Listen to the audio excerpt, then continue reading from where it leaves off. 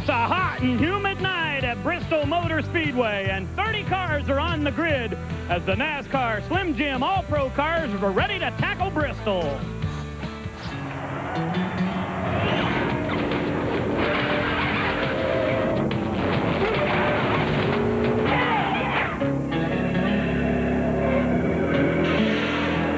ESPN Speed World welcomes you to Thunder. Tonight at Bristol Motor Speedway, it's the Pep Boys 200 as the NASCAR Slim Jim All-Pro Series get ready for event number eight of 1997. Well, boy, the weather, folks, has been hot and humid. The weather is holding right at 79 degrees, but the humidity has been fluctuating all day, and that is so tough on these drivers on a high bank racetrack. Hello, everyone. I'm Ray Dunlap, and welcome to Bristol Motor Speedway. You know, this racetrack is very similar to the tracks that many of these drivers run all throughout the season, but it's a concrete racing surface, and it's very, very hard to keep your focus for 200 racing laps. Let's take a look at the points now. Jeff Fultz has a two-point lead over Mike Harmon. Fultz, a former winner this season, but Harmon and Hal Goodson have yet to win in 1997. That may be somewhat of a surprise. Well, Phil Parsons joins me in the broadcast booth today. And Phil, this race is such a big event for these guys. There's a lot of people here watching. Well, there really is. And you also, we've had seven different winners in seven races this year. We've got one guy wanting to make it eight, the pole sitter, Mike Cope. It's his first race this year. He's the all-time winningest driver in this series. This is his first race back this year. He's been trying to break into the into the truck series. He's decided to come back here and run Bristol, and he's on the pole, so we got to watch him. We also got to go back all the way to 30th position and look for a guy named Rich Bickle on a busman's holiday. He's hmm. doing double duty this weekend. He's a former winner in this series, and we have to look for him to go frontwards. Well, Bickle could be strong, and keep your eye on Stephen Christian. He burned up his primary car and had to go to a backup. Well, one driver that thinks he's got a pretty good shot at making it eight different winners is standing by with Larry Rice. That's right. Mike Cope has not been in one of these cars all year long. He gets right in and wins the pole right away. How do you do that? How do you get in the first time and come back and be fast time? Well, we've done this for about seven years uh, with the Slim Jim series, so it wasn't that bad. Uh, I'd much rather be in the trucks, but uh, due to circumstances out of our control, we couldn't do it this weekend. But we come here, got a good clean lap. Uh, my crew put this car together in two days, and that says a lot for the championship caliber bunch of guys they are. So my hat's off to them, and we'll just see what happens from here. He thinks he's got a great chance, and he's ready to go. Back up to you, Ray. Well, we'll find out if it's going to be Mike Cope and Victory Lane coming up. Just come back after this commercial break, and we'll start the Pep Boys 200. Pep Boys 200 is being brought to you by Suzuki and your Suzuki motorcycles and ATV dealers. They've got the ride you've been waiting for and the financing to get it. And by Havoline Formula 3 Motor Oil. Add more life to your car. Take it to the star. Welcome back to Bristol, folks. Ready to go racing here tonight. The Slim Jim All-Pro Series and the Pep Boys 200. Let's take a look right now at our Suzuki starting grid. On the pole, 121 miles an hour, Mike Cope, Derek Gilchrist in the Fairfield Inns car on the outside pole. Then a former winner from this season, Nipper Alsup, and Casey Atwood starts fourth. Yeah, we've got a great bunch of cars out here. We've got, uh, as we mentioned earlier, we've got uh, Rich Bickle all the way back in 30th position there, and uh, we've got some real good cars. We've got uh, uh, Bobby Hamilton Jr. starting back in 34th. He's actually using a, a, backup car because he crashed his car. So is Conrad Burr. Those cars using a provisional. Now here is Wayne Anderson in the Porter Cable, number 25. Anderson, a former winner this season. Here comes the green. Mike Cope with a good jump. Derek Gilchrist running side by side with Nipper Alsup down to turn one in contact. Much, much as we saw last night, we had two cars trying to get to the bottom of the racetrack. Last night here at the Bristol Motor Speedway was the NASCAR Goody's Dash Series, and there was a lot of spins, a lot of action. Hopefully we won't be seeing that tonight. Ron Young making a move. What a terrific jump Mike Cope got on the start. I'm, I'll tell you, you know, they gave one to go, and I'm not sure the whole field knew that because it was really a, a, a haggard start. One car spinning over in turn number one. Car number 31 gets it sideways. That's Rick Miller, and he is back underway, but the yellow flag is out. It may give the guys that got caught sleeping on the start a chance to regroup here because uh, Mike Cope had about a 10-car length lead by the time they got to the start-finish line. He sure did. Now, folks, one car about to head to the pit area is the number 33. That's Conrad Burr. We mentioned him, who uh, he used a provisional to get in this race. He borrowed a race car from Jeff Fultz, and uh, he doesn't want to tear that car up. He just needed to make the start to get his points, so he's on his way to the pits. Pace, car, pace cars coming onto the field. And here's the start. I think you're right, Phil. A good jump for Cope. Yeah, you look at the top of the screen, though. You've got these three cars that, that broke out, and then the rest of the cars are just are just hanging back there. Then the two cars behind Mike Cope got together trying to get to the same line, and that allowed Mike to even get further ahead. Sure did. Well, we'll have a complete restart here as we have gotten three laps under the belt, but Rick Miller slides it sideways in turn number one. So we'll see if the field can be prepared a little bit better as Mike Cope gets that Penrose number 58 fired up right off the bat here. Car sitting on pit road there.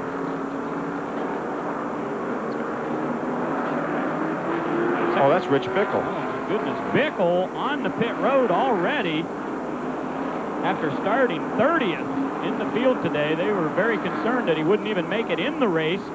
They went second round qualifying. Take a look at your in-car cameras today. The Jani-King car. That is the number 14 of Larry Raines. He'll be carrying a camera for us today. We'll see a lot of action as these cars traverse the 33-degree banking in the turns here at Bristol. The Porter Cable car is Wayne Anderson, number 25. Anderson, the winner of the last race in this series at Myrtle Beach. He'll have a camera for us all day long. And how about the Grease Lightning cleaner car? That's Ken Alexander. His number is 03, and he's far back in the pack, so I'm sure we'll see some action from that shot. Say, anytime you have a race at Bristol, you see some action. Right? Big crowd on hand tonight here at Bristol Motor Speedway watching the Slim Jim All-Pro Series. They are getting relined up and ready to go. Yeah, that's that's actually the 33 car, I think. That is uh, uh, the car that had to use it provisionally. He borrowed a car, Conrad Burr. He borrowed, actually borrowed one of Jeff Fultz's cars. Right. Uh, just allowed him to start the race. So I'm sure it was prearranged that he just would run a lap or two. Don't want to take and, a chance. No doubt about that. Well, Conrad Burr came into the race tonight 14th in the points, so he definitely needed to make the start to get some finish points at the end of the night tonight.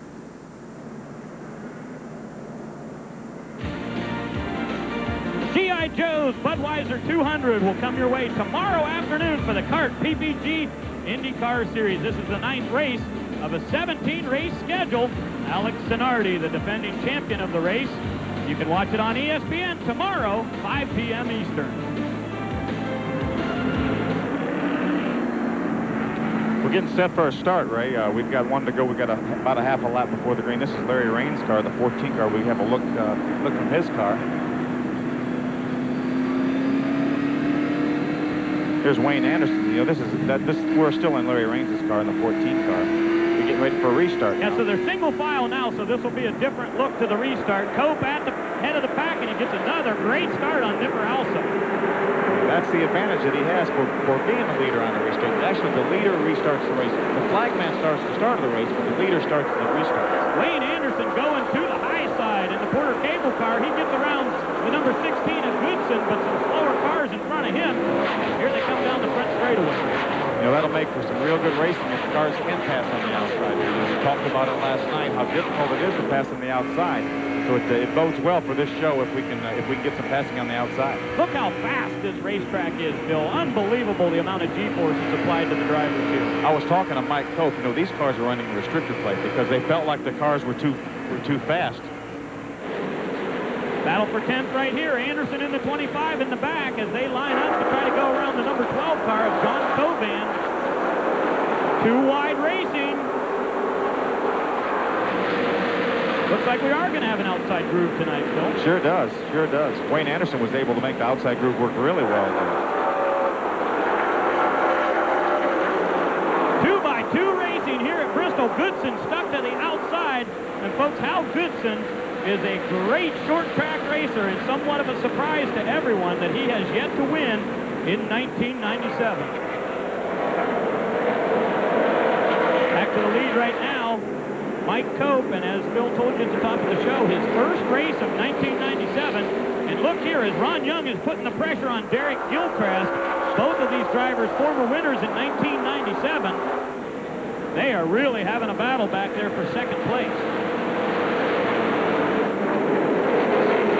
This racetrack, Phil, is a lot like Salem, Indiana, and Winchester Speedway, being high-banked and a half mile, and that's where Ron Young won the race at Salem, so he should be strong tonight. Yeah, very similar from the people I've talked to. I've never run Salem myself, but they say it's a very similar racetrack.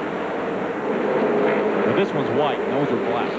yeah, concrete and asphalt are definitely different surfaces, and how the cars react totally different here at Bristol. You know, Nipper Alsup is running in second position right now in the 74 car. His father was Bill Alsup, who was an IndyCar driver for many years, and uh, I think he actually drove for Roger Penske at one time. Well, he's down in the pit area, giving some support to Nipper this evening. Got a battle right here is the 43 car. 48, excuse me. I guess the 43 has already gone to the pit area. That's Bobby Hamilton Jr., but that is the 48 car. So, excuse me, that's the surfer dude. Sean Monroe from California. Having a good run tonight here. Moved up two positions already. That's Casey Atwood in the three car. That's running in sixth position right behind him.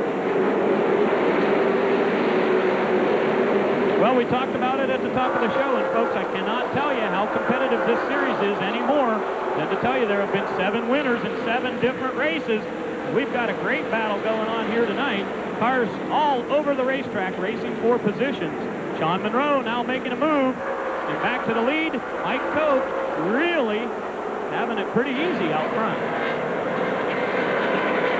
So Mike Cope is your leader at lap 19 here at Bristol Motor Speedway. We'll take a quick break and come back with more racing in the Pep Boys 200.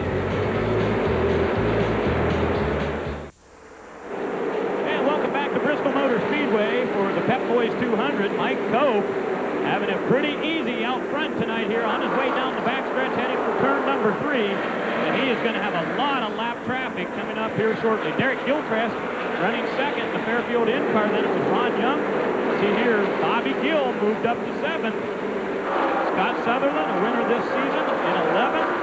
Carl Long in the 15th car, moving up there to 14th position. There's your point leader in, in 17th position. Rich Bickle back in 24th. Steve Allison. And look at this. Stephen Christian in the zero car is running 30th. And folks, he is about to get lapped by our leader, believe it or not. 27 car, Derek Gilchrist running second, getting some pressure now from Ron Young. They actually passed Nipper Alsup while we were away at break, uh, the second, third place cars. Gilchrist in the number 27 car. He hails from Raleigh, North Carolina. Pretty happy about this sponsorship on this car, hoping to have a good season in 1997. He's had a couple of tough breaks, got wiped out on the very first lap at I-70 Speedway. Nothing to do with his fault. He just got caught up in an accident, and those kind of things really hurt you in the points race. We've got the leader, Mike Cope, now on some heavy traffic. He's already put several cars a lap down, and now he's got some real heavy traffic. Now, at Bristol, where do you go when the cars are side by side from you? Now, this racetrack is not wide enough for three wide. no doubt about it. Scott Kilby in the number 45 on the outside there, as we saw the number 31 of Rick Miller making a move to the inside. But as I said, folks, just two cars ahead of that is Stephen Christian in the Bell South number zero, and he is fighting for his life to try to stay ahead of those lap cars. Here goes Cope to the outside, making a move. He's on the outside of Keith White, and he's going to put him a lap down very early tonight. Okay, he just went by Scott Kilby in the 45, so he does a real good job in my area, near near my home in Hickory and, and uh, places like that. Wins a lot of races, trying to break into a, a, a touring division. He's doing a good job, but uh, he got a lap down now. But if he hangs in there all night, he should have a good finish. We got trouble on the front stretch as Stephen Christian gets sideways, and our in-car camera of Ken Anderson contact there, and heavy contact for the Bell South Mobility number zero. We just talked about Stephen Christian, how he was trying to so hard to stay on the lead lap. They burn up a race car in practice after a fuel fitting busted loose and totally destroyed that race car, and he's in trouble again tonight. Yeah, he's obviously had a problem. Uh, it looks like he busted the radiator. There's a bunch of fluid left down from where the car drove away from. Taking a look from our speed shot at what happened. Uh, he got together. Looks like maybe the zero got in the back of the double, uh, the zero three, and uh, turned him around. And unfortunately, there was nowhere for Stephen Christian to go once the zero three got sideways. And boy, Phil, last night here we saw how little contact it actually takes to get a car sent around sideways. And Christian in trouble tonight here at Bristol. Severe damage on the zero car. Uh, it, it, this could be terminal, or at the very least, he's going to have to change the radiator, I believe. But looks like he's pulling behind the wall right now. Oh boy, he is eighth in the points right now. Run all the races this season, but it looks like they may have a DNF tonight here at Bristol. Hey, what's difficult when you when you have a, a big field like this, we started 36 cars, you have a field like this, and you have trouble early, it just kills you in the points race. If you start 24 cars, 28 cars, and you have trouble fairly early, you finish 20th, it doesn't hurt that bad. But when he's looking at finishing 30th or 32nd, it really puts a dent in the old points race. Well, the last race was at Myrtle Beach for this series, and Christian finished second behind Wayne Anderson. But tonight, I don't think he's going to be that lucky. Here's a shot from Ken Alexander's car. This is real time from his in-car camera. There he got a little bit, got, looked like he got a little bit of help. He was on and off the throttle there, Yeah, Bill, so I'm wondering if uh, Alexander may have been having a problem. He, he may have been loose, so that's why may, the zero car may have just run up on him so fast. Well, Larry Rice is standing by with the crew chief for Stephen Christian. Larry, take it away. This is Sammy Shoemate. Sammy, what did he say on the radio? the car got off a loose with him right coming out of the corner there, and he tapped Ken in the back. They didn't mean to, so just turned them both there. You know, we're just trying to work our way back up through there in the Bell South Chevrolet, and we've had a streak of bad luck here. If we get the monkey off our back, we'll be back up front. Okay, they're going to bring it in and try to work on it, but they got to get it around here first. So the big question is, can Stephen Christian fix the Bell South car and get back in the race? We'll find out when we come back to the Pep Boys 200 at Bristol. Back at Thunder Valley on board with Ken Alexander in the Grease Lightning car who was involved in our very last caution. He is back out on the racetrack. Well, folks, tomorrow E ESPN2 will present a live one-hour special of NASCAR Today from the brand new California Motor Speedway. Dave Despain and company will give you all the inside information before the green flag drops. Check out the pre-race show tomorrow on E ESPN2. On board with Wayne Anderson in the Porter cable car. Anderson, kind of an interesting story this year, Phil. He went to uh, New Hampshire to try to qualify for the Busch race, and he got stuck out there, wasn't able to make it back to Greenville Pickens, but they wanted to stay in the points chase. So his dad, Dick Anderson, got in the race car, went out, ran a couple laps. He said, man, this car is so good, I'm going to stay in it. Guess what? Won the race. Yes, he did. not, not a bad substitute. Let's go quickly down to Larry Rice. Well, we're down here to pits. Casey, can you tell us what's wrong? Well, it just got up to about 280. Uh, it was running real hot and bringing in. The valve cover gasket was blown or something. It was running too hot. We had to bring it in. It's unfortunate. We had a good run going. You're just running too hot, and there's a little oil on the racetrack, so they got to fix that before they go back out, back upstairs. Well, he's talking about Casey Atwood in car number three. And he was running very well, but when the motor gets hot, you got to take her in, and he's going to be done for the day. His first start in 1997. We had a little three wide action back there in turn four. I'm You're not not, sure- not supposed to do I'm, that. I'm not sure how they got by with that, but they did. Here's a battle for second shaping up good as Ron Young trying to make the move on the inside of Derek Gilchrist, and he has got the position. Coming off the straightaway, he regains second position. It was good move. He got a little run on him, got up inside, and uh, got position. You know, still, no matter what, the inside line is still the preferred line. Southern Pipe, the sponsor on Ron Young's car, and as we said, he's a, a winner in 1997 at Salem Speedway, so he loves these high banked and very fast half miles. Ron Young running very well. The big question now is, can he catch up to Mike Cope, because Cope is really stretching out his lead. There's Cope in the Penrose car. He is entering turn number one, folks, right now, and through the center of the turn, as the other drivers are just now approaching the turn. So he's got a very good race car here at Bristol. He's got almost a full straightaway lead right now. But now, in all fairness, when Ron Young was trying to get by Derek Gil- Gilchrist, that allowed Mike Cope to get that little lead. When they run side by side like that, it slows down both cars. No question about it. And when those cars were running side by side, there was a lot of cars in a big groove back there. Battle for 12th right here on the track. Hal Goodson in the number 16 car fighting his way through traffic as he goes to the outside of the number 45 of Scott Kilby. So Kilby's car not working quite as well as he would like. That's your battle for 11th right there. The 16 car of Hal Goodson. The 15 car.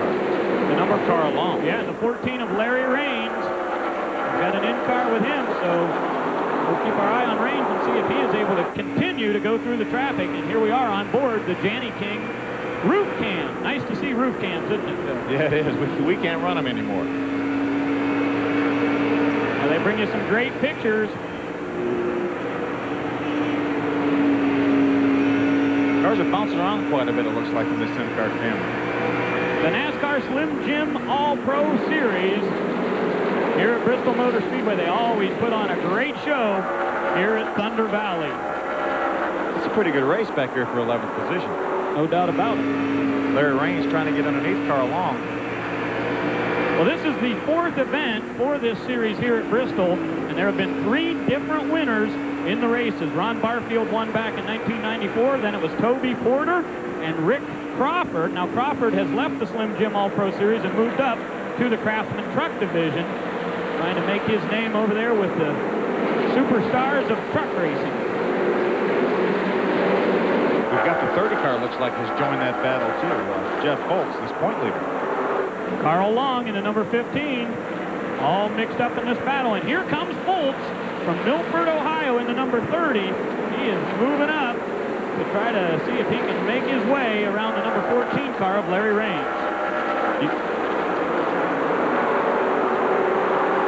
We noticed, uh, looked like the 14 car Larry Raines motion, motion for uh, Jeff Fultz to go on by. Yeah, and I think the drivers are pretty good about that in this division. If they know their car's a little bit loose, they'll, they'll let you come on by. And right now, that is happening to the leader. Mike Cope is making his way around Dan Matthews. Courtesy goes a long way in this type of a race. And remember, folks, this is a 200-lap race. You got to keep the car underneath you. Keep your tires on here at Bristol. That is always a big battle. There's Ken Alexander in the Grease Lightning car. He, he was just put down another lap by the leader, Mike Cope. Mike Cope has led all 53 laps so far. Saw Steve Mendenhall there in the number 21 car. Mendenhall had to fight to make it in this race, go second round qualifying in the terminal trucking entry.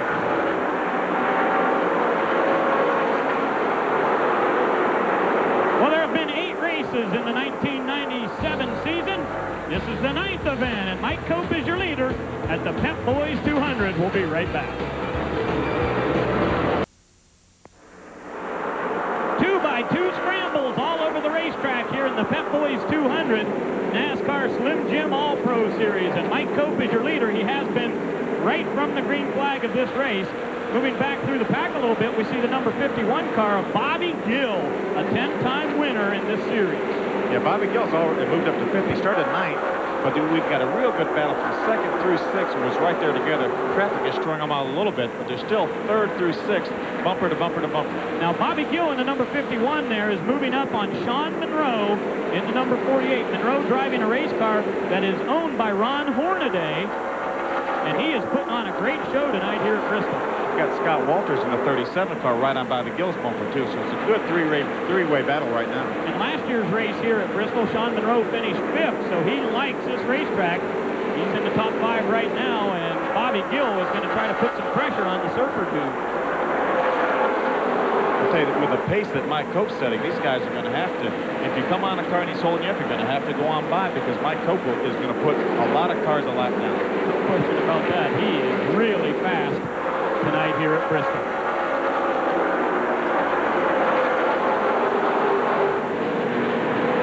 Scotty Walters moving up there in the pack right there. You see him in the number 37 car. Timberwolf, a brand new sponsorship for Scotty Walters. Driver who has done so well at tracks like Salem and Winchester. I think that car is owned by the same fella, Clarence Brewer, that owns uh, Mark Green's car that races in the Busch Series. Yep, sure is.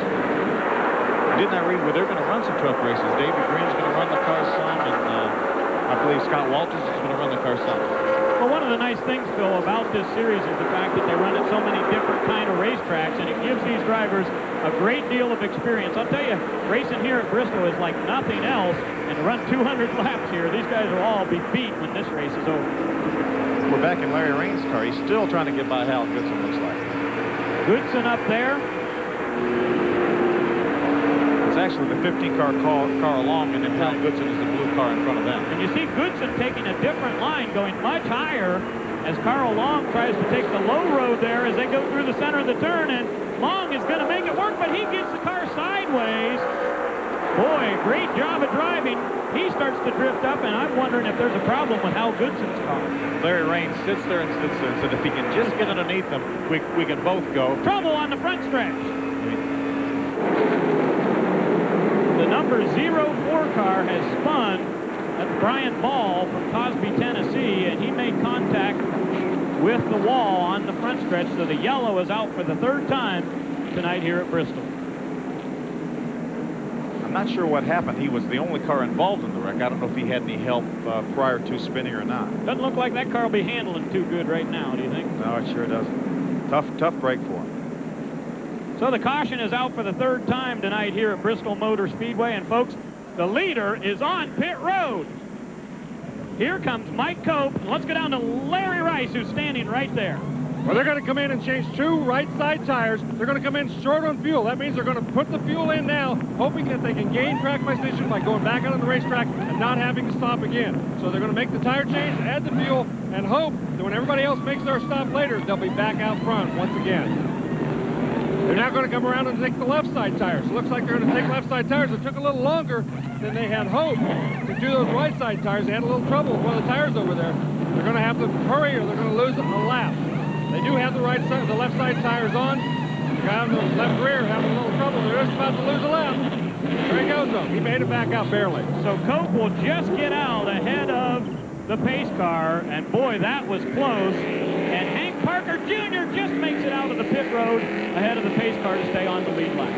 Yeah, I think Hank was the, was the last car in the lead lap. Take a look at what happened here. He was all by himself there, Phil. The car just gets a bit sideways. No, he had, he had a, there was a black car behind him. I'm not sure of the number. The Batmobile right behind him. I couldn't see that car. It was like a stealth bomber. Yeah, there's the tail end of it. He's already got into the inside wall slightly. So uh, it's a tough break for him. It appears that they may have broken the panhard bar on the back of that car as we see the tires were wobbling all around the back. So Ron Young is up front now on the fact that the leader has gone to the pits. Mike Cope will get back out and charge his way through the pack. Ron Young will be your leader, and we'll be back with more racing from Bristol after this. Welcome back to Bristol Motor Speedway. The cars have lined up two by two as we're ready to go back to green flag racing. You're on board there with the 03 of Ken Alexander. He is right up front, but a lap down. The car you see on the outside is the four car of Ron Young. He is now our new leader. There's Larry Raines' car. Green flag's out. Green flag is out. Ron Young gets a good jump down the front straightaway.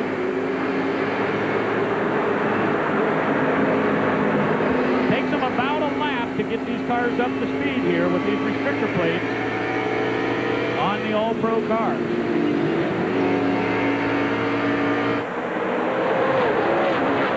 I'll tell you, it'll be interesting to see how the strategy of Mike Cope. And once Mike Cope came in, then several, several of the other front runners came in. Nipper Alsup came in. Hal Goodson came in.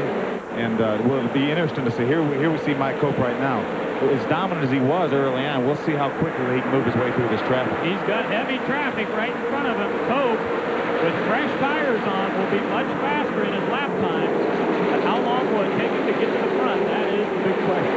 The, the big the big dilemma in whether to pit early like that or not is, is a place like Bristol. To get behind, know that you're behind all this traffic. They're going to be lap cars, people running side by side. You don't want to get caught up in somebody else's accident. So that's the thing you have to struggle with as to whether to do it or not. If it works, if Mike Cope can cleanly get through the field, then he's going to have an advantage on all these guys that didn't pit.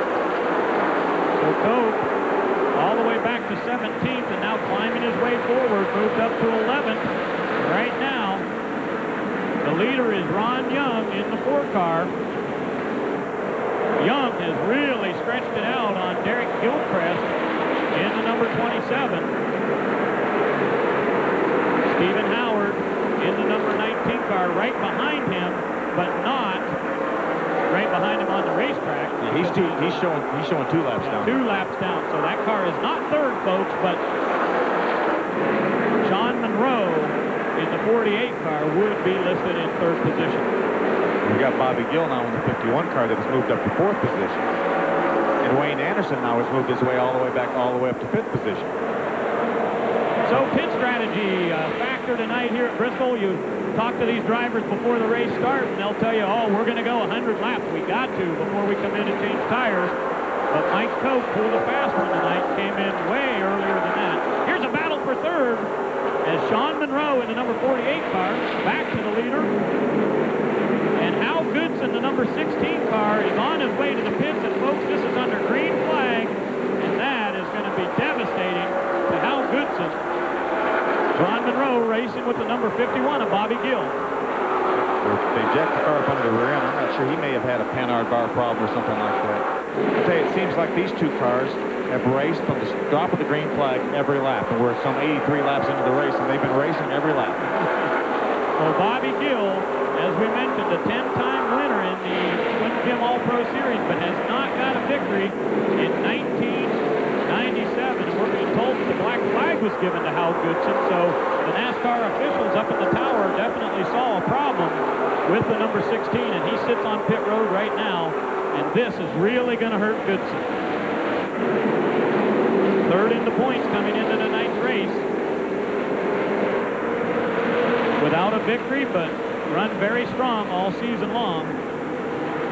Four top 10 finishes, but not tonight. A good. I, I, I look at Bobby Gill, and it seems like, well, he's got a much better car if he could just get by him. Then, then Sean Monroe will open up a little distance. As we mentioned earlier, Monroe driving for Ron Hornaday, so that's a pretty good car owner to have, don't you think? He knows how to get around this racetrack, that's for sure. No doubt about it.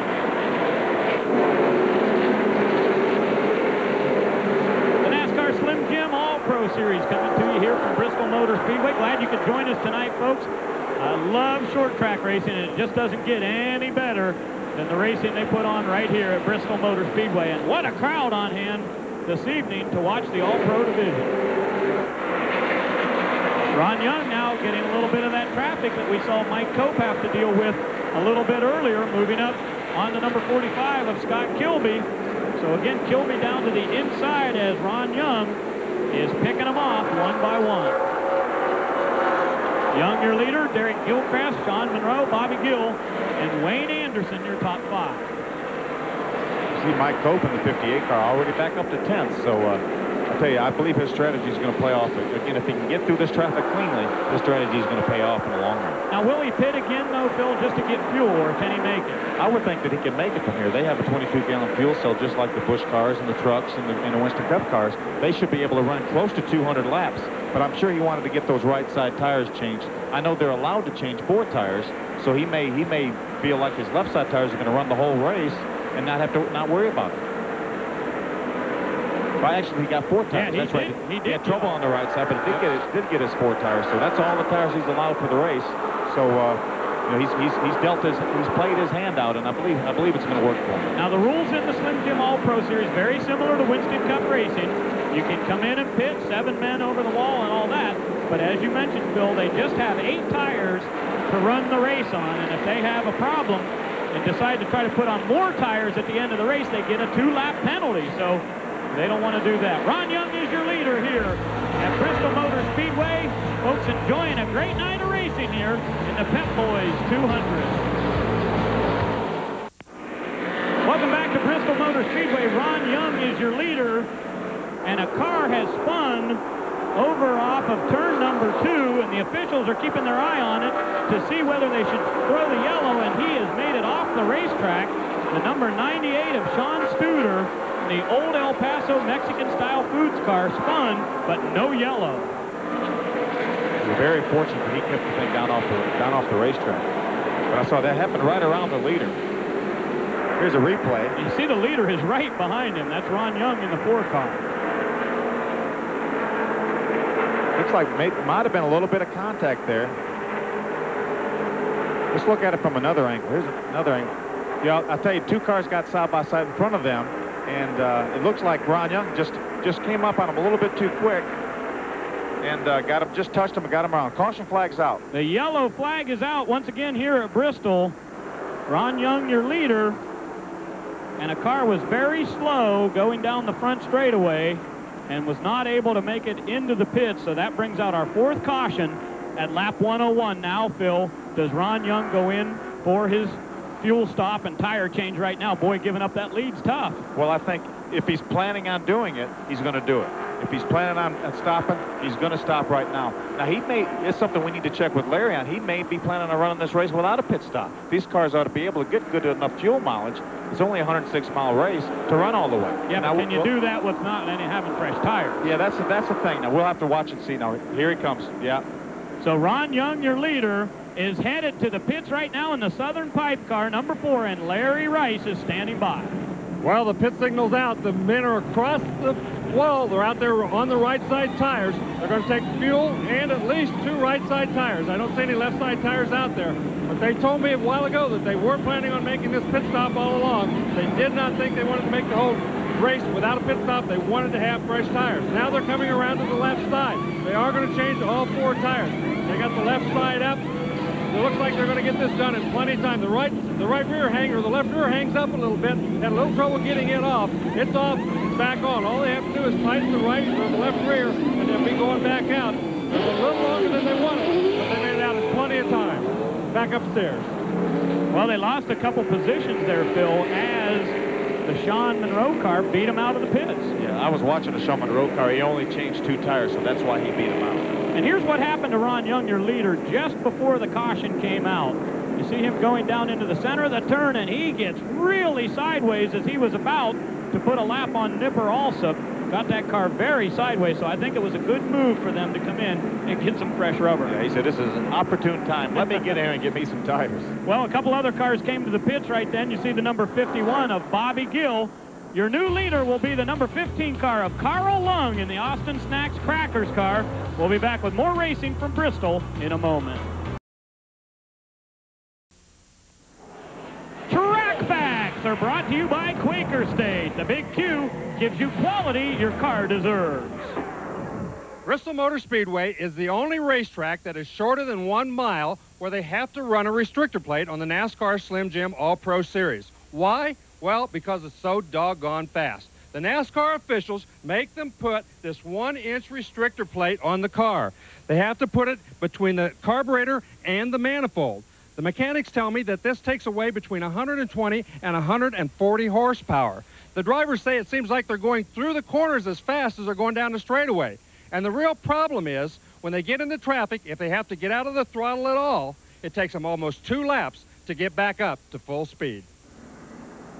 Well, thank you, Larry. That's a good explanation of exactly what goes on here at Bristol with the restrictor plate on the engine. I was talking to Mike Cope earlier before the race, and he said it's, it makes it very difficult to drive here because you don't have the acceleration that you need to get out of trouble. If you get a car sideways, you can't you can't nail the throttle to get you, get yourself out of trouble. If you get trouble in traffic, it's hard to get yourself out of trouble because we're running almost as fast to the corners as we are down the straightaway. Absolutely. You're on board with the Porter-Cable car of Wayne Anderson and the Grease Lightning machine of Ken Alexander. Looks like one lap to go, and boy, oh boy, can you believe it? In second place, Mike Cope. We'll see. Now he's got about 40 more laps on his tires than the, than the rest of the guys who just pitted. So we'll see. Uh, you know, see how much difference that's going to make. But now he's got the all-important track position. So if he can put a, put a little distance between himself and the other guys, then maybe he can hold them off till the end. Carl Long in the number 15 car is the leader. Cope is second. Then Scotty Walters. Hank Parker Jr. has moved up there. We see the five car moved in right behind those guys. And Jeff Fultz certainly not out of it tonight here in car number 30. Green flag is back out. And Carl Long with a good jump. And here comes Cope. Mike Cope is extremely aggressive on these restarts, on the start of the race and obviously the restarts. He's got better tires. Right now, Carl Long has over 100 laps on his tires, so he shouldn't pose much of a problem for Mike Cope.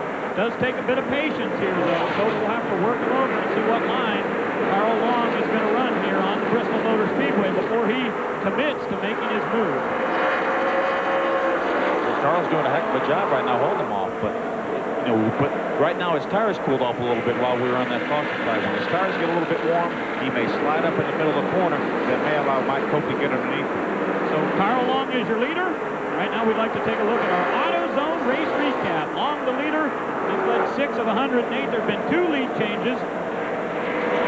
Four caution flags for 27 laps here at Bristol. And really, that's not uncommon, is it? No, it really isn't. Uh, I think they've run this race with 20-some cautions, or at least a 500-lap race with 20 cautions. Cope gets it sideways, coming out of the turn, and he is going to make the move this time right in the center of the corner, coming out of turn number four. Mike Cope is back in the lead. That, uh, to me, that was a heads-up move by Carl Long. He knows that Mike Cope is quicker than him.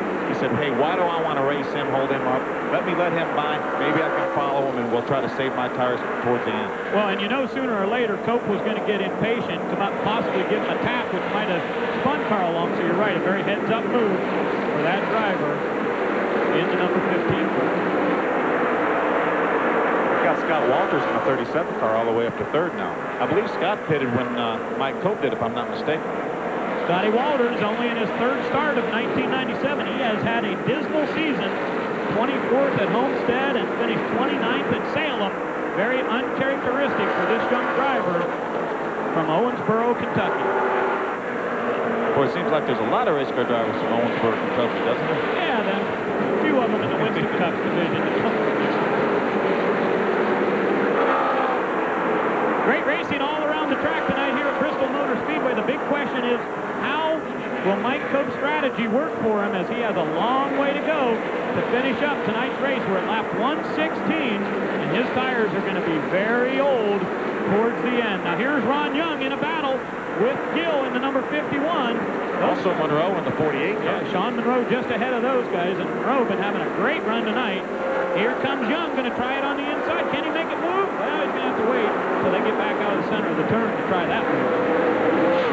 The 48 car Sean Monroe only changed two tires, while Ron Young took four tires. So Ron Young has better tires right now, but we'll see if he can make it work. It's very difficult to run pass at this racetrack, even if you do have better tires. Well, Bobby Gill would like to make a pass in the number 51. The terminal trucking car is running very well right behind Ron Young and Sean Monroe. So these guys really having a great battle. You see on the apron, that's Rich Bickle in the number five car. He had an excellent run, had moved all the way up to fifth, fourth position, but uh, looks like he may, he's going in the pits. Look, he's going behind pit wall. So it's it's uh, it's terminal for the terminal trucking Oh, Chevrolet. Bickle run a lot of races in this division. He's won two of them, but many times he was in position to win and just didn't pull it off. So it looks like his day is over tonight here at Bristol Motor Speedway. All-Pro Series have a incredible schedule coming up ahead of them. They're on their way to Lanier, Georgia next on July 3rd, then to Volusia County Speedway July 5th. They'll be racing at Louisville, Kentucky coming up, then down to Pensacola's Five Flag Speedway, and then to Topeka, Kansas on the road course. So these guys really, with a lot of racing coming up in the next month and a half. Oh, we got a car on fire crashing over in turn number two. That's the old El Paso car. The number 98 of Sean Studer has made hard contact, and Sean getting out of the race car, so he's okay. But that race car, not nearly as good as the driver. Stunned him a little bit, though. I'm awfully glad to see him get out of the car. They need to get some emergency crew over there and get that fire put out. The fire truck has made it to the scene, but cars still circling around, and they cannot get across the racetrack to get up there to put the fire out. And folks, you can see just how steep the banking is here at Bristol Motor Speedway. Sean Studer is out of the car, holding on to the fence to get his position there. Fire crew on the scene now, and they will try to extinguish the flames here on the old El Paso car. Concord, North Carolina, the home for Sean. He made some serious contact. Just about to get it extinguished right now. I think I think they had a little problem with their initial fire extinguisher. Well, I'll tell you, Phil, it just goes to show you how hard you can hit the wall here at Bristol. This place can really tear up a race car. It sure can. I've talked to guys that said this is they've never hit any harder than hitting at the wall here at Bristol. on a half mile racetrack.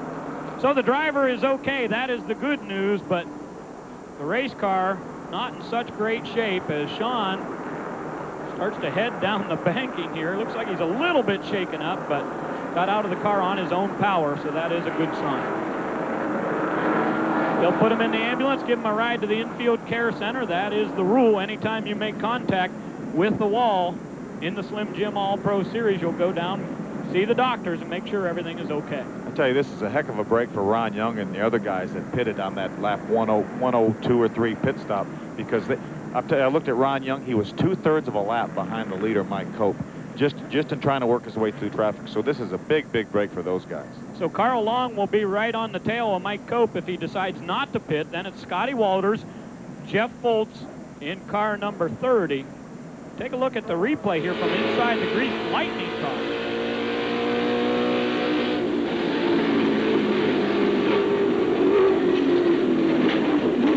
Con contact there between uh, Hal Goodson and the Grease Lightning car of uh, Kenny Anderson.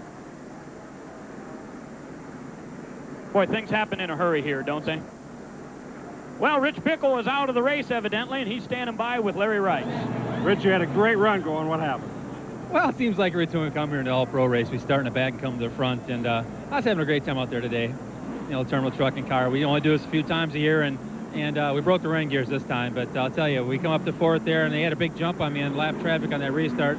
I was kind of sitting there waiting for him to, you know, have another yellow, give him a run at it. I had a heck of a car, and too bad to get the show today. You made an early pit stop. What was up for? Track position. That's the biggest thing here with the restrictor plates on is you have a hard time getting track position. I figure if I pitted early, you know, get up through there, let them guys burn their tires up trying to catch us. But uh, it's like I said, it's unfortunate day. We had a great car and had a shot at win this thing, but we'll never know. Great run. He's still smiling, so it can't be all bad. Back upstairs. Well, Rich Bickle is the leader of the NASCAR Craftsman Truck Points race as we approach the halfway point of the season, and we'll be back with more of the Pep Boys 200 in a moment.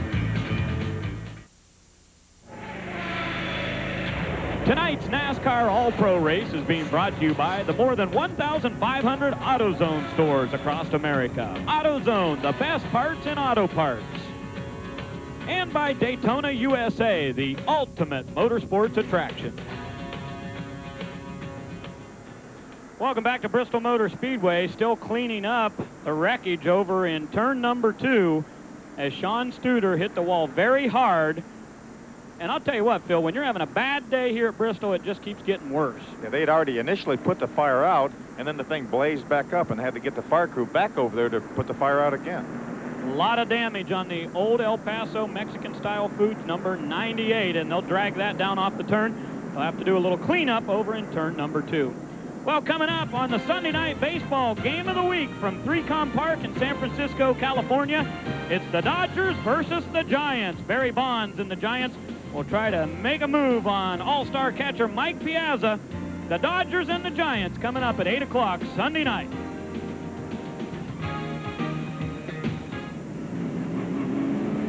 Cleanup continues here, and you see the cars now driving through it. Take a look at a full field summary here, and you can see where your favorite driver is running. Mike Cope back in the lead right now. Carl Long, then Scotty Walters, Jeff Fultz. Look at Hank Parker Jr. all the way up to fifth from a provisional start. 32nd to fifth. So Hank Parker in the Delco Voyager car having a great run tonight. Nip, Nipper Alsup was in danger of going a lap down earlier.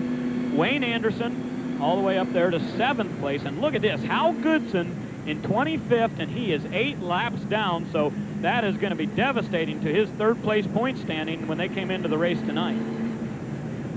We're showing about about four cars, four cars on that sheet out of the race, and another uh, six here. So about 10 cars out of the race. Pretty high attrition rate for this series. Yeah, and Stephen Christian, you see there, and Conrad Burr being shown in 34th and 35th position. And you talk about trouble in the points race. What a year for Stephen Christian. A winner last year on this series, but they just cannot get a break in 1997. There's Ken Alexander in the pits. I'm not sure what sort of problem he may be having there. I called him Ken Anderson a little bit ago. I don't think he played football for the Bengals. I think he's a race car driver. But Ken Alexander in the Greased Lightning car. We got more racing coming your way from Bristol Motor Speedway. We'll get them back under green, hopefully, when we come back.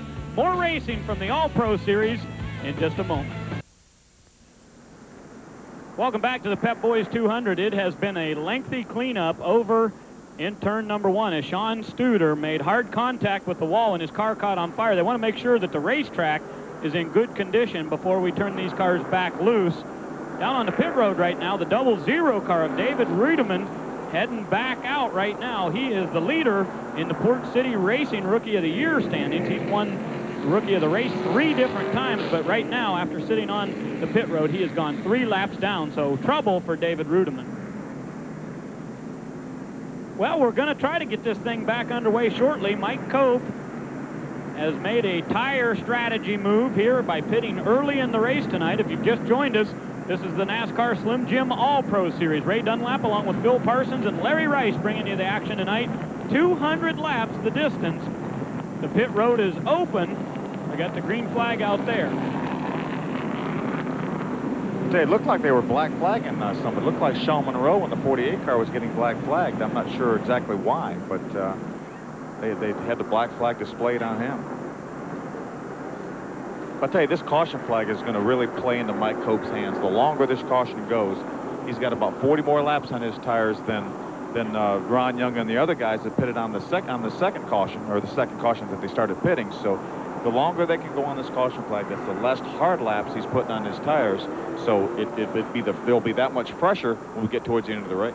Well, we've got all kinds of sports for you here on ESPN, and we will be tipping off the WNBA basketball season with a Western Conference matchup. It's the Los Angeles Sparks versus the Utah Starzz. Lisa Leslie and the Los Angeles team will try to win as we get the WNBA season started Monday, 7.30 Eastern. Basketball, baseball, racing, we've got it all, and they now have the 98 car on the rollback. It's off the racetrack, and we should be ready to go back to racing here very shortly. We're being told that the black flag has been shown to the number 48 car of Sean Monroe from Malibu, California. Not sure what the problem is with Monroe, but evidently he will be heading to the pits. Monroe currently running 10th on the racetrack. It looks like he's, he's pulling up beside Bobby Gill, so he, he probably is getting ready to come to the pits. They've displayed the flag to him a couple times, so uh, so he needs to come on in the pits before they uh, stop scoring. But he's dropping to the bottom. He is coming in the pits. So the surfer dude, folks, if you don't know why we call him that, he's a very interesting guy. Loves surfing about as much as he does racing. Got a California haircut, an earring, and the whole bit. Not sure what the black flag was for, but we're getting ready to go back to green flag racing, so he needs to get uh, get that work done. He was in the lead lap running in the top 10, so uh, he's, he's got an awfully good car. And now the NASCAR officials tell me they are going to hold Sean Monroe. They have made a tire change here, and we're going to go to green flag racing this time by. So a terrible break for Sean Monroe, who sits in the pits after running 10th here, and they're going to give him a penalty hold here. The green flag will be coming out with Mike Cope as the leader. Here comes Cope off of turn number four. And another great jump for the Penrose car. Got Carl Long in second position still. Uh, Scott Walters in third. We'll see now if Ron Young can use those fresher tires and get through this traffic. Well, Jeff Fultz in the 30 car is coming on pretty strong too, Phil, but boy, they're going to have to run fast to catch Cope as well as he's hooked up tonight here at Bristol that caution flag was really a blessing for Ron Young and the other guys because that gave them about a half a lap of track position.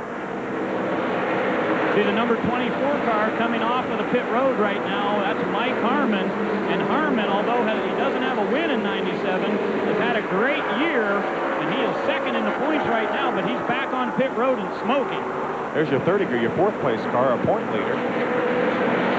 Jeff Fultz with uh, Hank Parker Jr. running fifth right behind. The King Racing Chevrolet, Fultz from Milford, Ohio. He won earlier this season in Slim Jim competition at St. Augustine Speedway in the second event of 1997. Nipper Alsup in the 74 car having a battle for sixth right now with Wayne Anderson. Somewhat of a surprise to me, Phil, that Anderson not running a little bit better. He really loves this racetrack. I would have I would have expected Wayne Anderson to be a little bit closer to the front. But I tell you, he's not he's not bad right now in seventh position. We've got Ron Young, our previous leader, right behind him, and Bobby Gill right behind Ron Young. So an excellent race right here. Here's your in-car camera for Wayne Anderson, the Porter-Cable power tool car. Anderson finished fourth here at Bristol last year in this 200 lap race, and he is trying to make a move right now on Nipper Alsup. He looks to the high side. Ron Young has come right up to the tail, and Alsup is trying to make a move on Sean Monroe that allowed Ron Young to drive up beside him. So uh, Nipper Alsup gave, squeezed him a little bit coming off of turn four, got Wayne Anderson out of the throttle. That let Ron Young get underneath him. And there we see Ron Young on the inside of the four car making his move. Well, folks, if you just joined us, Sean Monroe is three laps down after being assessed a penalty on pit road. So Monroe not racing for the lead with this group right here, although his car is very fast now that he has fresh tires. You see Bobby Gill now moved on the inside of Wayne Anderson. Anderson taking the high side here as Gill goes to the inside in the terminal trucking number 51.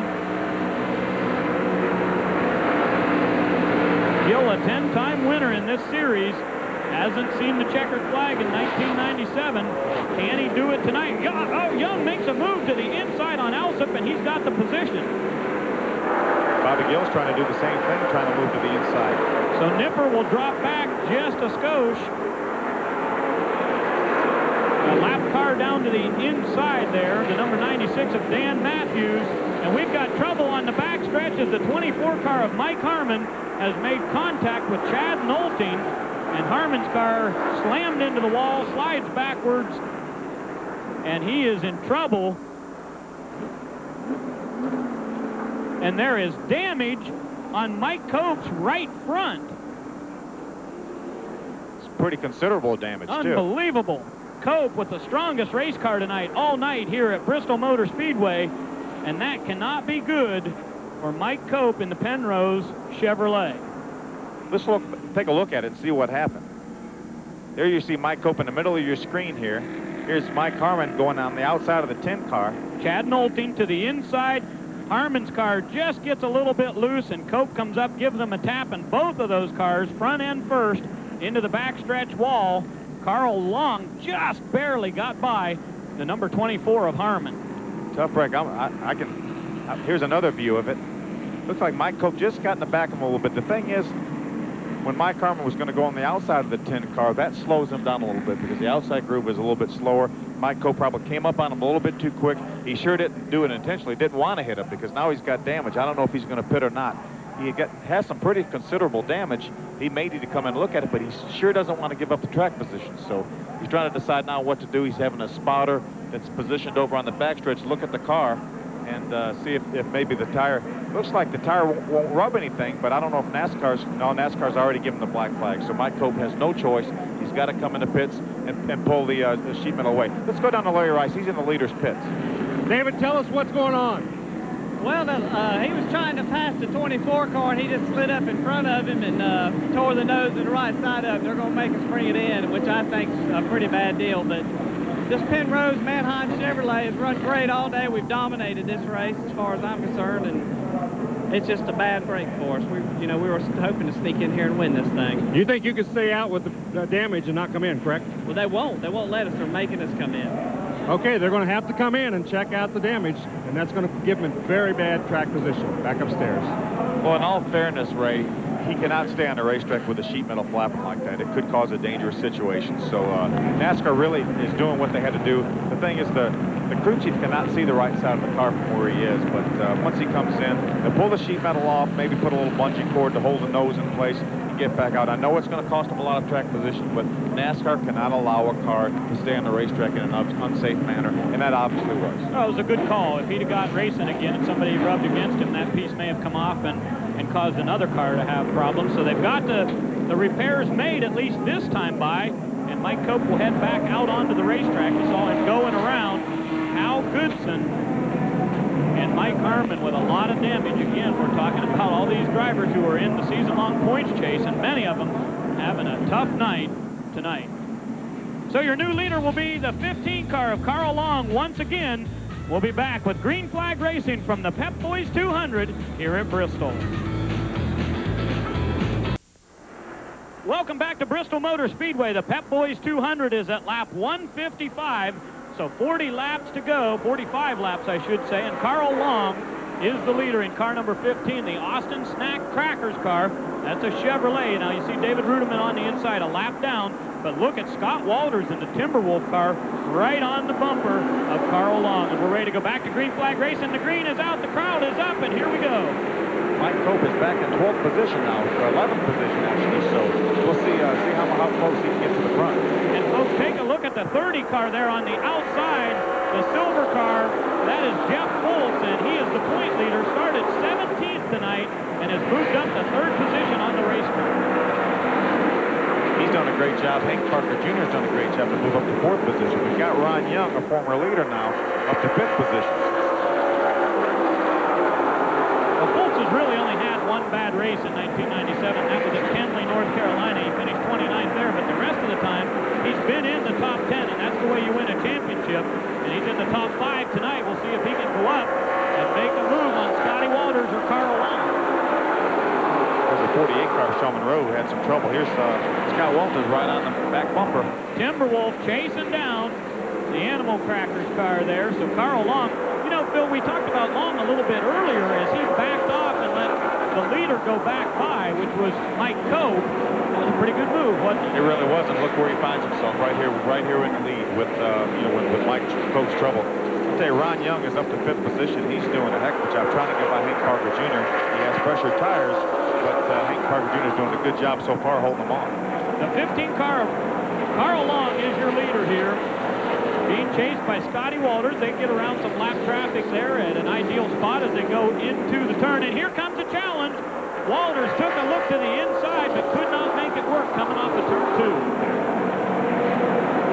Scott Walters has an awfully good car right now. Looks like he's got a better car than Carl Long if he can get a little run on him. Here we have Hank Parker Jr., Ron Young, fourth and fifth position. Ron Young has pressure tires. Been all over Hank Jr. trying to get trying to get by him, but Hank Jr. done a good job holding him off. Delco Voyager, the sponsor on Hank Parker Jr.'s car, and here comes Ron Young making a move on. Look at that, right up on his back bumper down the front straightaway.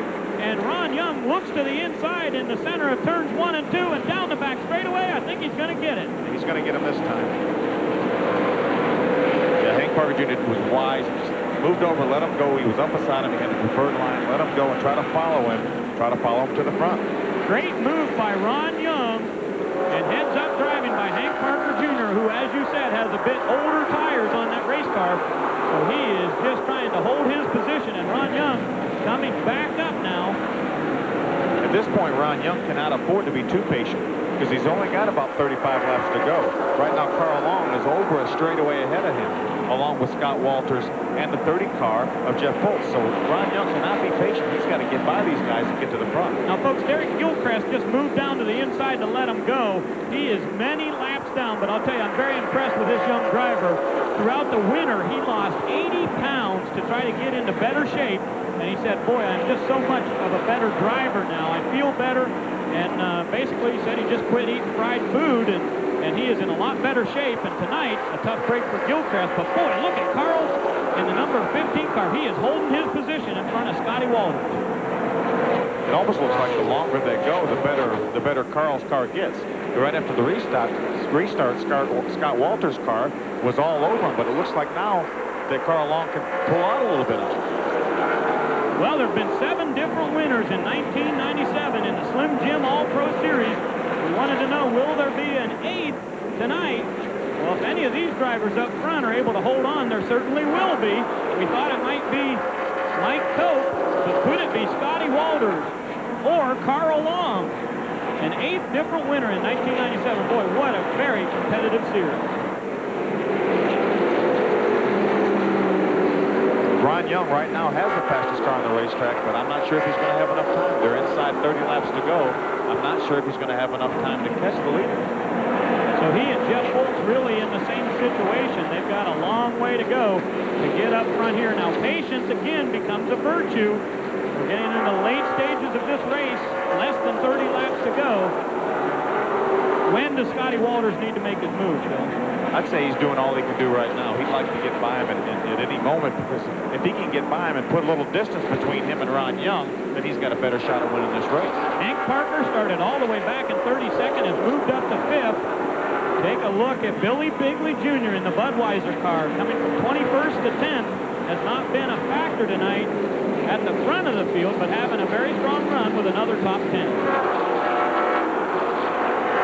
Mike Cope back there, and he has got a long way to go, Phil. I think at this point, his chances really, a caution right now is about the only that would help Cope, and I'm wondering if maybe that damage to his car didn't hurt him aerodynamically. I think it probably did, because you really rely on front end of these cars for downforce, and as much damage as he has on the front, he has to, I would imagine that where his car is developed to push now, because he does not have the front downforce that he needs and that you count on, because you set your car up with all the sheet metal intact, with the, with the nose the way it is.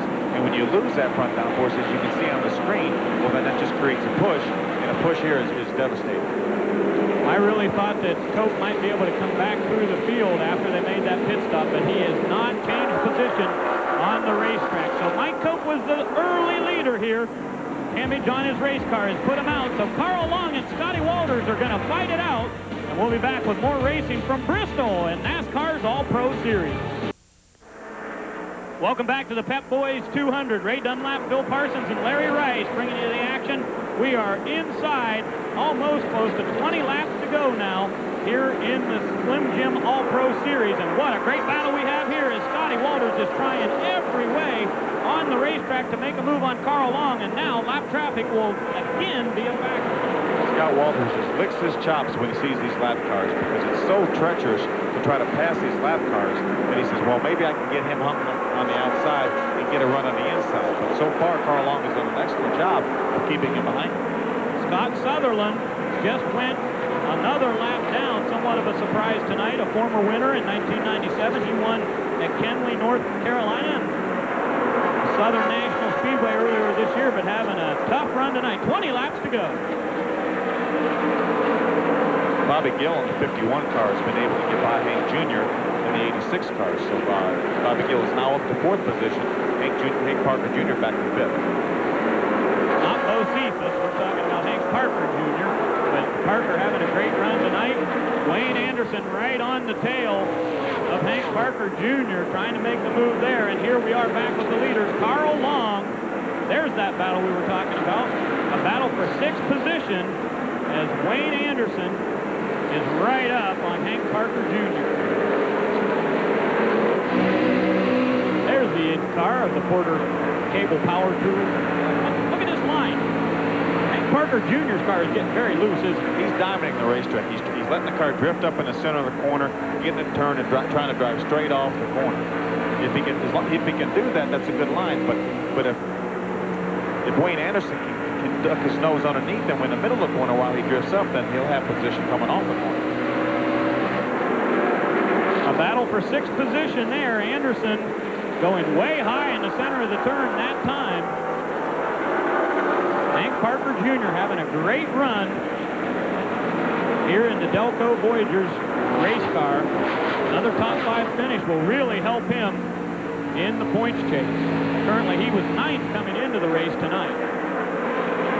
Back up front, Scotty Walters into Timberwolf number 37. Now it appears he has dropped back a couple of car lengths. Go down to Larry Rice down in the pit area. I'm standing here with Billy Chandler. Billy, what's he saying to you on the radio? Well, I said the car's pretty good right now. We just gonna ride it out.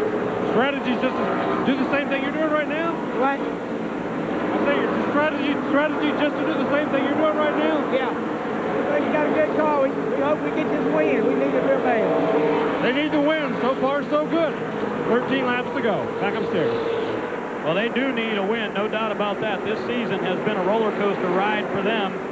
Their best finish of the year was 10th at St. Augustine, so what a great move that would be to go from 10th all the way to the win. Carl Long in car number 15. The Austin Snack Cracker Chevrolet. Can he hold on for the win?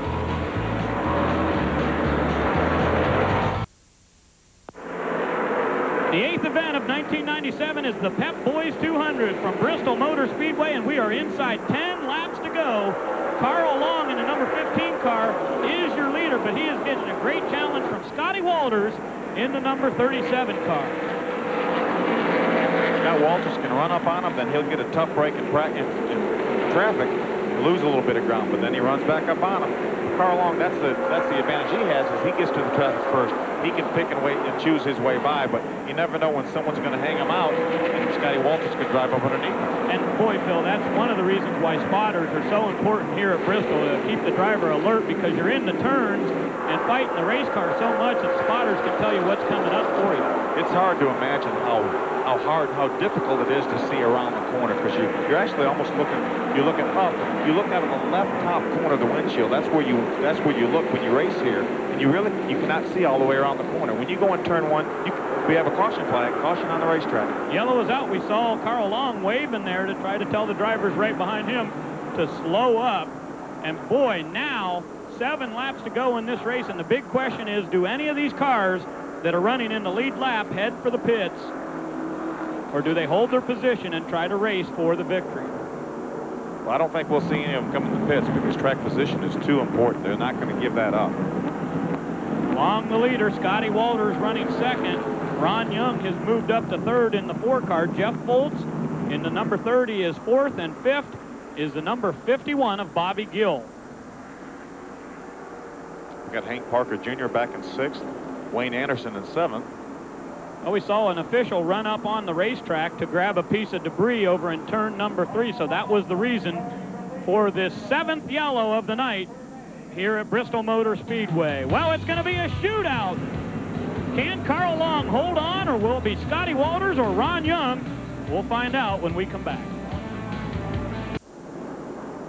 A big shootout coming your way in the Pep Boys 200. Carl Long, the leader. Scotty Walters running second.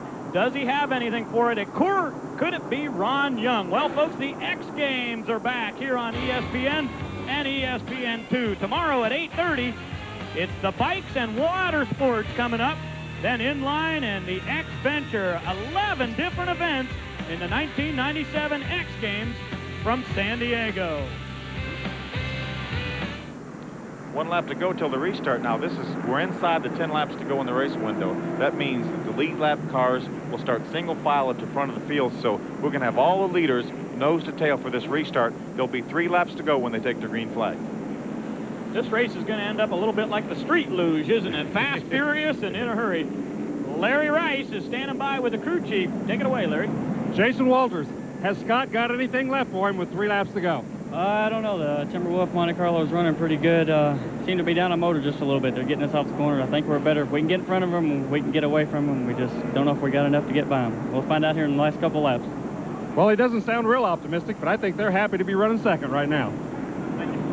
So Jason Walters thinks they're down a little bit on horsepower, and that may be the case because we haven't seen him really give any super challenge to the 15 car. Now they're going to give him one to go. They waved off that restart. They're going to give him one to go. We've got Ron Young now with fresher tires than the rest of them in third position. Can he make a move in, two, in the last two laps? So Ron Young and the 30 car of Jeff Fultz, Bobby Gill, they're all in position here. And folks, we have seen these races come down to some wild finishes over the year. As we'll have a green, white checker here as we are under the seventh caution of the night. It is going to be a shootout.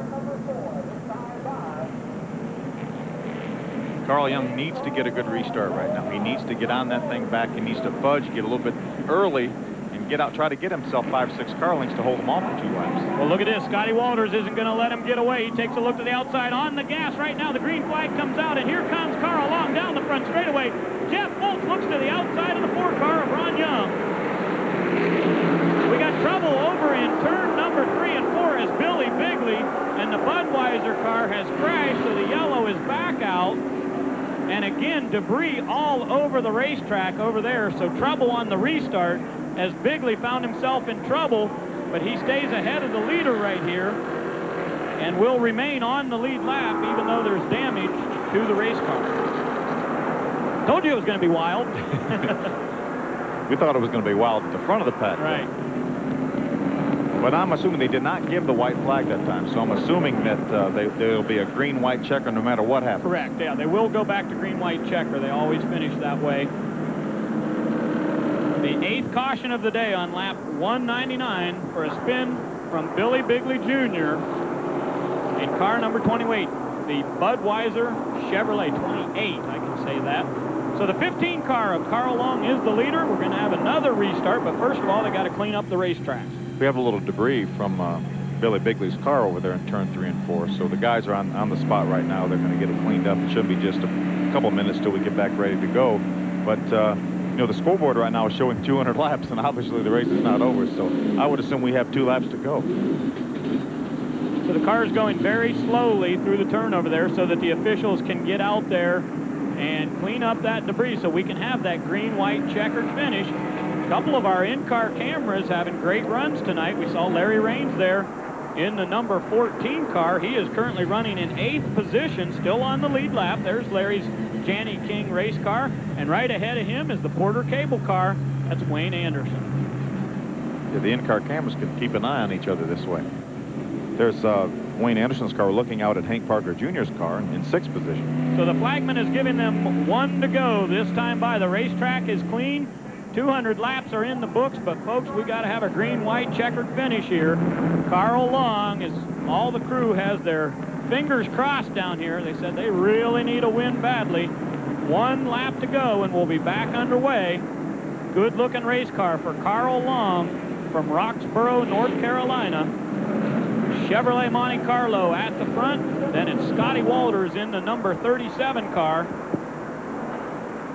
Ron Young is fourth, then Jeff Fultz you know, this green-white checker sure makes it interesting for the race fans, but I'm not sure as a competitor.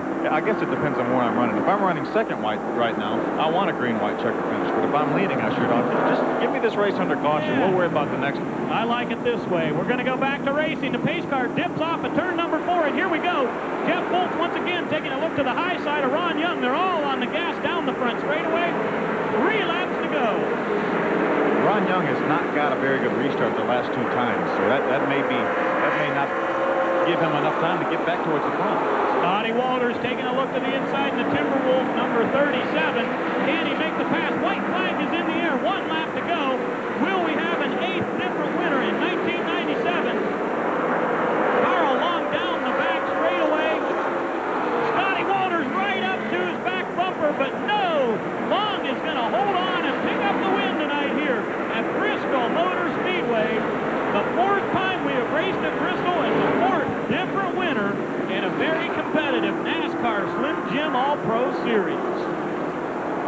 Okay, Carl Long, the move he made when he let Mike Cope go by earlier in the race may have been a move that could have cost, could have won him the race.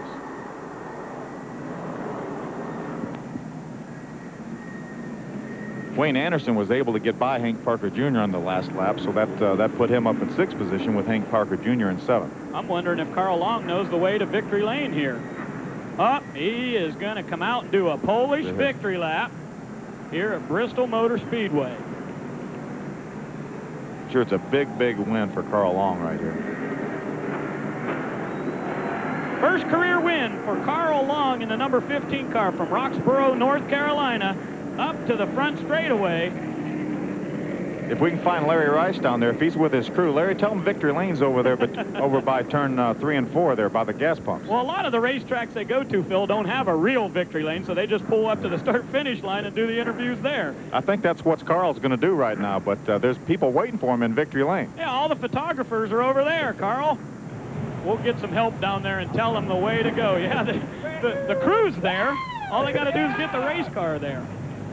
Larry, help him out and tell him to tell his driver, their driver, that the victory lane's over there in turn three and four. Oh, goodness.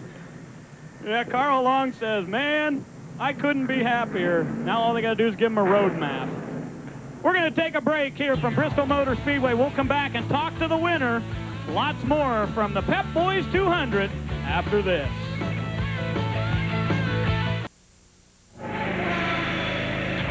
Tonight's Pep Boys 200 has been brought to you by Quaker State, the quality your car deserves. Welcome back to Thunder Valley and the Pep Boys 200. Well, Carl Long has found his way down to victory lane right now. Take a look at the unofficial results. Long started 15th in car 15, moved all the way to his first career win. Scotty Walters started 10th, goes up to second. Ron Young in the four car will finish in third position. Jeff Fultz, the points leader, with a fourth place finish. We see on back here some cars that had some trouble. We see uh, Al Goodson all the way back in 19th position. That's really going to hurt him in the points. Also, Mike Harmon was back in the in the high 20s. Yeah, so the second and third place drivers in the points having trouble tonight here at Bristol. Well, Larry Rice is caught up with our winner. Well, Carl, you had a little trouble finding victory lane, but you didn't have any trouble finding your way around that racetrack. Great run. It was. Uh, I uh, had a car that stayed hooked up. We elected not to make a pit stop, stay out the whole time, and that pit strategy was what got us in the front. Uh, Mike Cope seemed to have a pretty good car. I thought one time there we was fixing to make a new combination of Penrose sausage and cracker crunch. I don't know what would have come up with that, but uh, we had good luck with us. And uh, man, I really would like to thank it, the people at Austin Foods that made this possible for me. I've been a local racer like most of the rest of y'all, and this is my first chance at going on a touring series, and I'm just pleased that Austin Foods is behind me. So go out and buy your Austin crackers and tell them you support racing. well, I'll tell you what, did the tires go away? I mean, you ran 200 laps. Didn't they go away near the end? They did. The car kept tightening up, and uh, we'd get a caution, and they would cool off, and it would stick good for about 10, 12 more laps. And uh, right there at the end, I was getting getting to wonder, and uh, started running a little lower on the track, hooking the asphalt, making the car turn and get off the corner. And uh, that last caution, the car hooked right on back down with the sprint. How nervous were you, though, when that yellow came out, when you had Victor in sight? Uh, you don't know. We've had so much problems this year finishing races. This is the, the only the second race I finished so far, so it was a good finish. Whose call was it for no pit stops? Mike Chandler, your, your Chandler, your uh, pit, uh, crew chief? Billy Chandler and Tommy Pereira, uh, all the guys on the crew was a group decision. They worked together on this thing, and uh, and it worked out. Well, he's a happy guy. 10th was his best finish until today. Now he's got the big one in his hat, and it came at Bristol. Back upstairs. A win at the Big B. What a great job for Carl Young. Lots more from the Pep Boys 200 when we come back. Don't go away, folks. We got lots to bring you. And welcome back to the Pep Boys 200. The celebration continues down in Victory Lane as Carl Long has won his first career NASCAR Slim Jim All-Pro Series race. Pretty good run, wasn't it, Phil? It sure was. Carl Long came in the race in 19th position points. He's going to make a big jump. Ron Young may move all the way up to second or third. Hank Parker Jr. is going to move up. So a great run by a lot of guys. So the points will have a big shakeup. And tomorrow afternoon here on ESPN, you can see the Budweiser GI Joe 200, the ninth race of the 1997 CART racing at 5 p.m. Coming up next here on ESPN 2, it's Arena Football. Carl Long, the winner tonight, right here at Bristol Motor Speedway. For Phil Parsons and Larry Rice, I'm Ray Dunlap saying so long, everybody. This has been a presentation of ESPN, the worldwide leader in sports.